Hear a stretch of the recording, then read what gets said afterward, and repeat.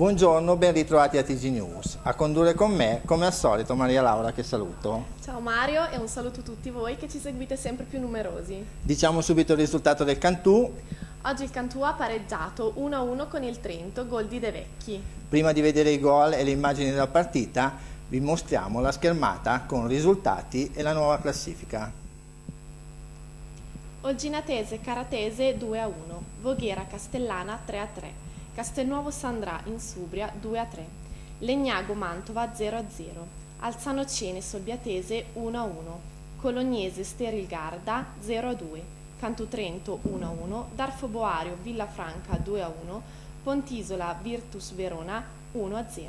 La classifica vede sempre al comando il Manto a un passo dalla promozione con 62 punti.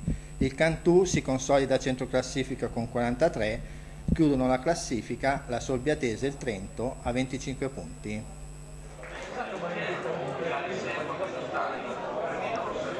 Per la quattordicesima giornata di ritorno del campionato di Serie D, Girone B, si affrontano Cantù e Trento. A dirigere l'incontro è stato chiamato il signor Mandina di Palermo.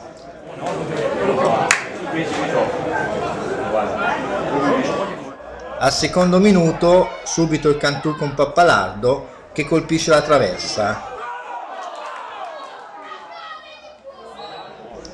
Al sedicesimo si fa vedere il Trento con Colella che in semi rovesciata impegna Artesani.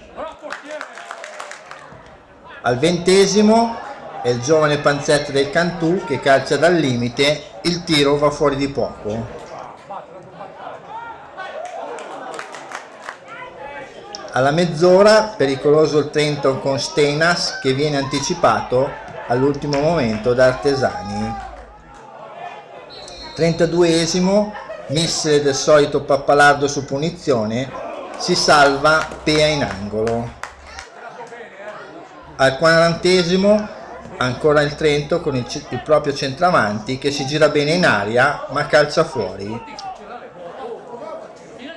in chiusura di tempo Palpalardo entra in aria e impegna Pea che respinge. Termina qui il primo tempo, con le immagini passiamo alla ripresa. Al dodicesimo Panzetta si invola in aria ma calcia debolmente.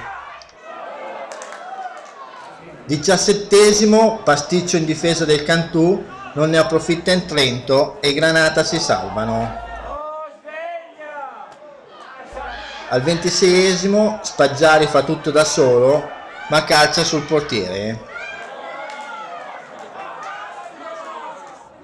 Alla mezz'ora difesa del Cantù ancora in affanno, un'occasione d'ora per il Trento che non ne approfitta. 32esimo, ancora il Trento vicino al gol, Atomei colpisce il palo. Al 34esimo il Trento passa meritatamente in vantaggio con Atomei, Cantù 0, Trento 1. Al 42esimo De Vecchi mischia, pareggia e salva il Cantù da una sconfitta. Termina così 1-1, sentiamo le interviste nel dopo partita.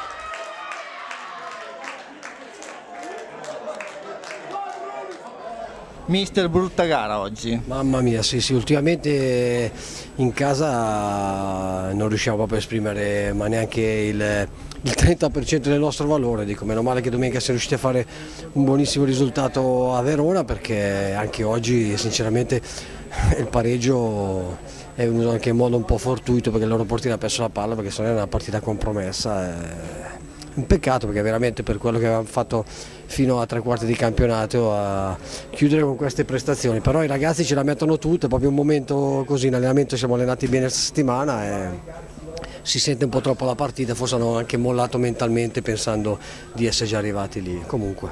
Complimenti comunque perché avete conquistato la, anche per la prossima stagione la permanenza in Serie Adesso D. Non ho ancora visto gli altri risultati, non dico mai niente, io finché no, non c'è tutto eh, scritto sul, sulla classifica? Sembra di sì, comunque adesso guardiamo gli altri risultati poi vediamo, abbiamo da preparare altre tre partite da fare modo, in un modo migliore di questo. Ecco. A proposito di prossima stagione, tutti si chiedono cosa farà Chicco Pelosi. Beh, io sicuramente non giocherò più ancora, però no, non lo so, non lo so, con Marco stiamo lavorando bene, è una cosa che mi piace, ti ho detto già mille volte che non è detto che uno che ha giocato sappia fare l'allenatore, sto imparando molto da lui e... Comunque tu hai dimostrato di saperlo fare. Perché sono riuscito a guardare il pareggio, dici? No, ho perso dieci anni di vita, guarda, oggi. Ciao, niente. Va bene, grazie. Okay, ciao, ciao, ciao. ciao. ciao. Siamo qui con il direttore sportivo del Trento, le chiedo un'analisi della partita. Ma diciamo che la partita non so se lei l'ha vista, abbiamo fatto una buona partita, ambedue le squadre, non ci sono state pochissime munizioni tranne che il mio giocatore che è stato espulso all'ultimo. Sicuramente lo, diciamo, il Cantù ha giocato più tranquillo per la classifica che, che, che ha e noi naturalmente dovevamo vincere in tutte le maniere. Ci abbiamo provato, abbiamo sbagliato l'impossibile, siamo riusciti a fare gol e poi siamo riusciti a farcelo anche fare. Non si smette, a 8 minuti alla fine non si smette di giocare. A 8 minuti alla fine noi abbiamo smesso di giocare, abbiamo incominciato a perdere tempo su, sui calci d'angolo, sono cose che non si fanno. Una squadra che si deve salvare deve rimanere umile come, come è stata tutta la partita, lottare come ha lottato tutta la partita. Io la prima volta che vado in panchina è la prima settimana che li ho allenati mi hanno risposto per quello che concerne a me, mi hanno risposto alla grande, però non, non sono d'accordo sugli ultimi otto minuti. No, noi abbiamo sbagliato e sicuramente la colpa è anche mia e sicuramente per questo siamo ultimi in classifica. Bene, grazie. Allora io le faccio un grande in bocca al lupo. Crepi il lupo, grazie mille. Grazie a te il gol del pareggio. Sì, grazie a me il gol del pareggio viene un punto molto prezioso in un momento difficile, un momento difficile di squadra dove oggi probabilmente non meritavamo il pareggio, però l'abbiamo ottenuto, abbiamo preso il punto che ci serviva e un momento difficile a livello anche personale dove sono un po' di, un po di cose, quindi sono contento e sono contento. Sappiamo già che circolano delle voci sulla prossima stagione, ci puoi dare qualche anticipazione? No, se voi avete delle voci sulla prossima stagione le vorrei sapere anch'io perché no, noi adesso siamo concentrati a finire nella maniera migliore possibile Dopo penso adesso la salvezza possiamo dire che è acquisita e vediamo se riusciamo a ottenere qualcosa in più come sembrava un po' di mesi fa e poi per il prossimo anno c'è tempo per pensarci, tranquillamente. Bene, grazie, ciao. Grazie a voi, buona continuazione, ciao. Col direttore generale del Canto San Paolo Mario Targhetti, il punto sulla stagione. Beh, direi un ottimo punto, no? siamo arrivati a un piccolo passo dalla, dalla salvezza matematica, quindi più che soddisfacente. Abbiamo fatto un grandissimo girone d'andata, il ritorno un po' di fatica, però finalmente abbiamo questi 43 punti che con 8 punti di differenza sulle quintultime siamo tranquilli.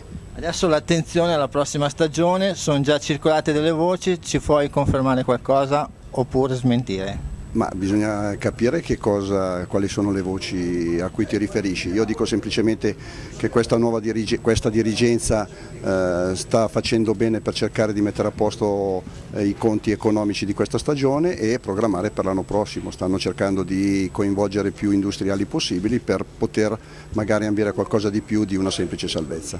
Quindi ci saranno ancora Marco Ronchetti, Claudio Pelosi, Mario Targhetti? Ma a questo momento posso dire di sì poi possono succedere tante cose che se non entrano nuovi personaggi allora dovremo ridurre ulteriormente il budget che come sappiamo è abbastanza limitato e quindi eh, avere altri scopi che porterebbe a delle problematiche, però in questo momento dico che noi siamo tutti confermati e vogliamo assolutamente rimanere a Cantù.